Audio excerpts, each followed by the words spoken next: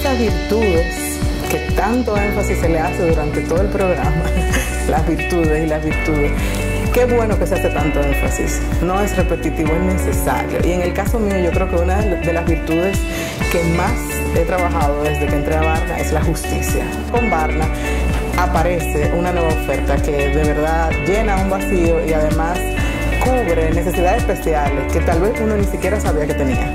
Tú empiezas a descubrir que sí, que el directivo necesita algún refuerzo en la parte de de formación incluso de habilidades soft, que no es necesariamente eh, ser mejor en finanzas, ser mejor en marketing, sino trabajar esas virtudes y esa parte eh, de cualidades y de, eh, cosas que nosotros debemos tener para tomar buenas decisiones. Yo tengo un amigo que dice que uno tiene tiempo para lo que quiere tener tiempo, y esa es la verdad.